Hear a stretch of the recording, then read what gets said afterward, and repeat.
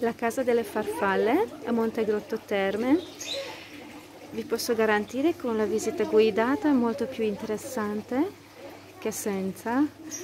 Siamo qui ormai la quinta volta, ma è la prima volta che abbiamo preso la guida che ci spiega e sono molto contenta di questa decisione.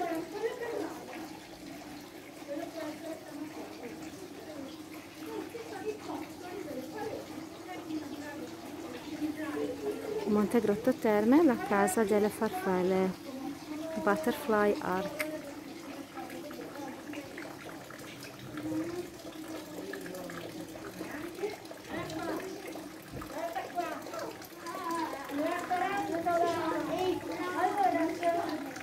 ricordatevi, sono grosse, sono pericolose, sono grosse, sono sono grosse, sono pelose.